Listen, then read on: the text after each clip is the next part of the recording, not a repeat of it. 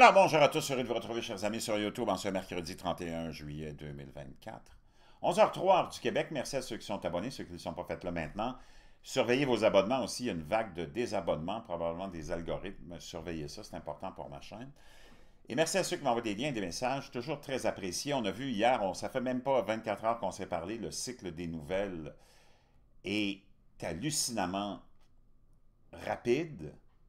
on est bombardé hein, par le complexe euh, qui nous gouverne, le complexe militaro-industriel surtout, complexe médiatique qui, lui, qui nous fait tourner la tête comme dans l'exorciste, hein, 360 degrés, jour après jour. On n'a même pas le temps de digérer, une nouvelle, qu'il y en a une nouvelle, une nouvelle, une nouvelle, beaucoup, beaucoup de distractions. Et pendant ce temps-là, l'agenda globaliste et mondialiste avance à pas de géant.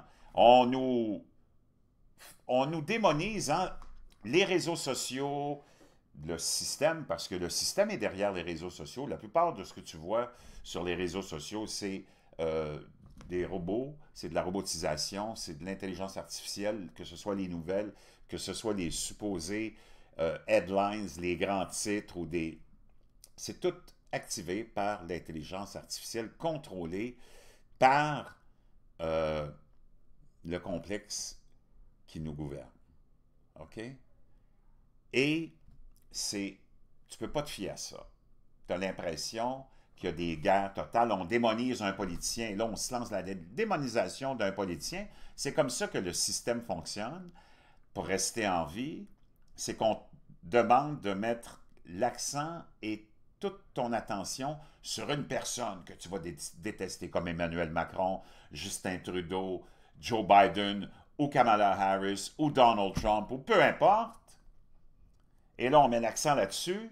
Et pendant ce temps-là, on ne parle jamais des politiques et des politiques et des politiques. Donc, tu vas être tellement, disons, frustré que tu ne veux pas avoir Donald Trump parce qu'on te l'a démonisé. Disons, tu votes comme on a fait en 2020, mais on a voté avec euh, des pigeons voyageurs puis Pure Later. Puis on élit Joe Biden. La démocratie est sauvée. Non, c'est le pire de pire du pire de la tyrannie. Et l'agenda globaliste avance. Puis on est en train de te dépouiller de tout ce que tu as. Parce que c'est cet agenda-là qui avance pendant qu'on est occupé à démoniser Justin Trudeau, ben, l'agenda du globalisme et du mondialisme avance. Puis on va t'enlever ta voiture à essence. On va t'enlever tous tes droits. On va t'enlever euh, ton air climatisé. On va t'enlever ton électricité. On va tout t'enlever. Parce que c'est ça qui est le plan de l'élite qui nous gouverne.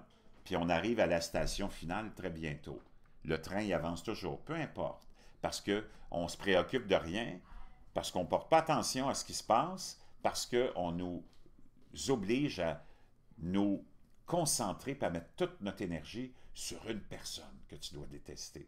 Donc, c'est comme ça que le système fonctionne. Maintenant, dernière mise à jour, Israël a finalement répondu à l'attaque du, du Golan il y a deux jours, les hauteurs du Golan, et est allé éliminer le chef politique du Hamas, et tout ça directement à Téhéran. Imagine-toi, les implications de ça, quelles seront-elles?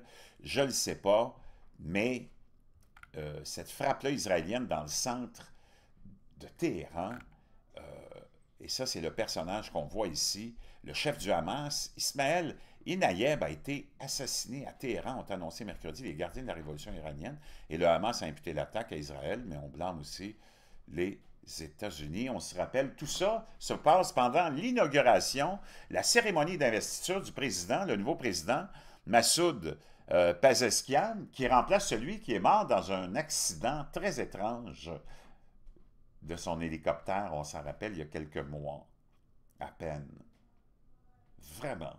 Ça fait des années que les Américains, le complexe militaro-industriel pousse pour une guerre avec l'Iran. Est-ce qu'elle va arriver? Ça fait des années aussi que Benjamin Netanyahu pousse pour une guerre avec l'Iran. Est-ce que ça va arriver? Lui, c'était cet homme-là qui négociait les accords de paix, qui était en train de négocier les accords de paix avec Israël concernant la bande de Gaza. Là, tu peux dire adieu à ces accords de paix-là. Euh, on n'en veut pas de paix. Notre élite, notre complexe militaro-industriel ne veut pas de paix. Et c'est plein de petits conflits comme ça pour détourner l'attention. Est-ce qu'il va y avoir un conflit majeur? Je ne sais pas. Il n'y a pas grand monde qui est intéressé par ça. Ce qu'on veut, c'est juste déranger, puis tirailler et distraire le monde.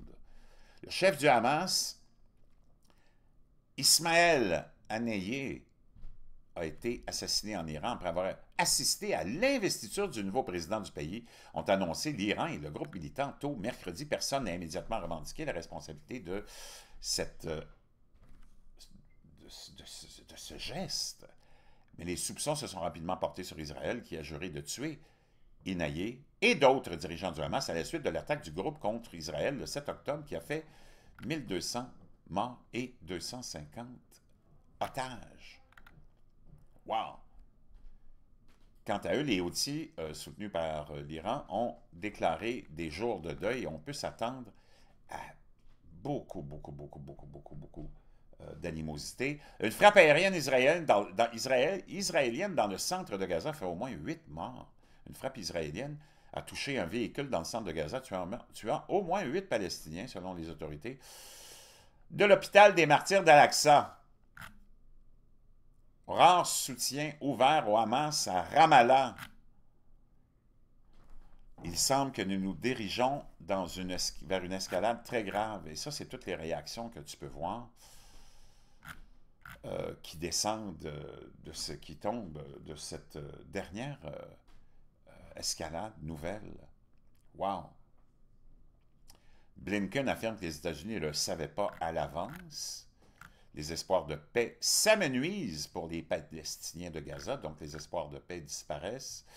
Les partisans de la ligne dure en Iran condamnent naturellement l'assassinat. L'Égypte estime que les récentes attaques constituent une escalade israélienne qui promet les négociations de cesser le, qui compromet les négociations de cesser le feu. Donc ça, c'est le dirigeant en question qui était à l'inauguration euh, du nouveau président iranien. Wow! Je peux te dire une chose. Israël, nous dit-on, ne veut pas la guerre, mais se prépare à toutes les éventualités. Ça, c'est Yoav Galant qui déclare ça. Les attaques de Beyrouth et de Téhéran pourraient déclencher une nouvelle forme d'escalade. Donc, vers quoi on s'en va? Beaucoup, beaucoup d'implications, mais beaucoup d'incertitudes. Beaucoup, beaucoup, beaucoup d'incertitudes. Mais je peux dire une chose. C'est certain que on n'a pas fini de se faire déranger et déranger parce qu'il y a tout un agenda derrière tout ça qui avance à pas de géant.